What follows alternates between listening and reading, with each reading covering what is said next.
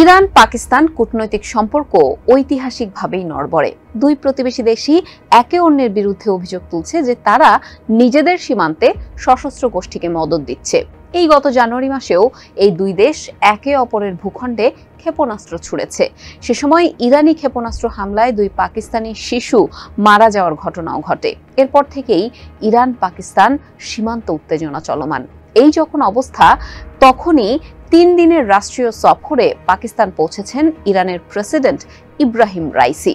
গত আট ফেব্রুয়ারি পাকিস্তানের সাধারণ নির্বাচনের মাধ্যমে নতুন সরকার গঠনের পর এই প্রথম কোনো রাষ্ট্রীয় শীর্ষস্থানীয় ব্যক্তি পাকিস্তান সফরে এলেন।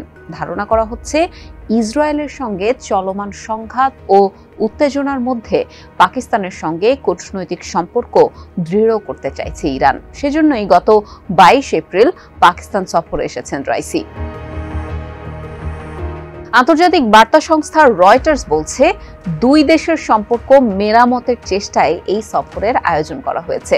এক বিবৃতিতে, পাকিস্তানের পররাষ্ট্র মন্ত্রণালয় জানায়, ইরানের প্রেসিডেন্টের সঙ্গে রয়েছেন তার স্ত্রী এবং একটি উচ্চ পর্যায়ের প্রতিনিধি দল।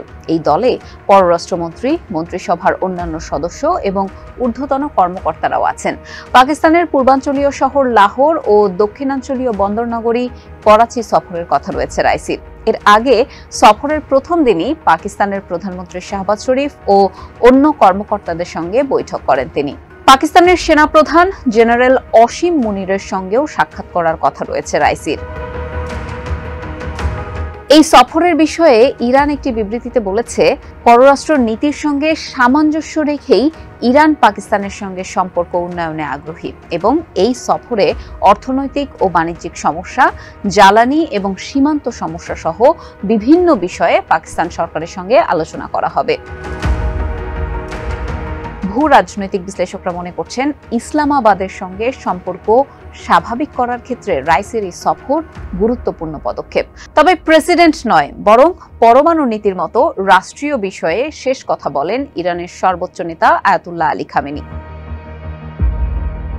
বেশ কয়েকটি বাণিজ্যিক চুক্তি থাকা সত্ত্বেও পাকিস্তান ও ইরানের মধ্যে দীর্ঘকাল ধরেই সম্পর্কের টানাপোড়েন চলছে। দুই হাজার দশ সালে ইরানের সাউথ ফার্স গ্যাস ক্ষেত্র থেকে পাকিস্তানের দক্ষিণাঞ্চলীয় প্রদেশ বেলুচিস্তান ও সিন্ধু পর্যন্ত পাইপলাইন নির্মাণের জন্য গ্যাস সরবরাহ চুক্তি স্বাক্ষরিত হয়।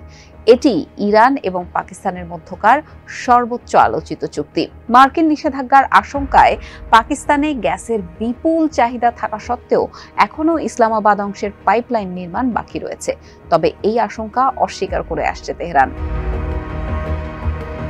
এক বিবৃতিতে পাকিস্তানের পররাষ্ট্র মন্ত্রণালয় জানায়, রাইসির এই সফরে পাকিস্তান ইরান সম্পর্ককে আরও দৃঢ় করতে এবং বাণিজ্য, যোগাযোগ ব্যবস্থা, জ্বালানি, কৃষি ও দুই দেশের মানুষের মধ্যে যোগাযোগ সহ বিভিন্ন ক্ষেত্রে সহযোগিতা বাড়ানোর জন্য উভয় পক্ষের একটি বিস্তৃত এজেন্ডা থাকবে। পাকিস্তানের পররাষ্ট্র নীতি নির্ধারকরা মনে করছেন, ইরানের সঙ্গে সম্পর্ক উন্নয়ন করা পাকিস্তানের জন্য বেশ গুরুত্বপূর্ণ। পাকিস্তানি কূটনীতিক মালিহা লোবি আল জাজিরাকে বলেন, পাকিস্তানের সঙ্গে ভারত, এমনকি আফগানিস্তানেরও সীমান্ত নিয়ে জটিলতা রয়েছে। তাই ইরানের সঙ্গে একটি স্বাভাবিক স্থিতিশীল সম্পর্ক রাখা পাকিস্তানের জন্য অত্যন্ত গুরুত্বপূর্ণ ছিল এবং তা এখনও রয়েছে। রাইসির সফরের প্রথম দিন দুই পক্ষের দেয়া বক্তব্যে আপাতত মনে হচ্ছে যে তারা সম্পর্ক স্বাভাবিক করাতেই বেশি আগ্রহী।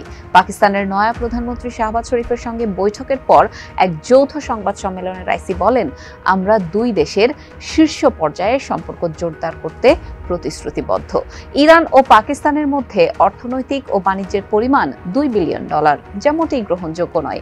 আমরা আমাদের দুই দেশের মধ্যে বাণিজ্যের পরিমাণ দশ বিলিয়ন ডলারে উন্নীত করার সিদ্ধান্ত নিয়েছি। এই সময় রাইসি তাকে উষ্ণ অভ্যর্থনা জানানোয় পাকিস্তান সরকার ও প্রধানমন্ত্রী শাহবাজকে ধন্যবাদ জানান। ওই বৈঠকে দুই দেশের মধ্যে ব্যবসা বাণিজ্য সম্প্রসারণের জন্য একটি সমঝোতা চুক্তিও সই হয়।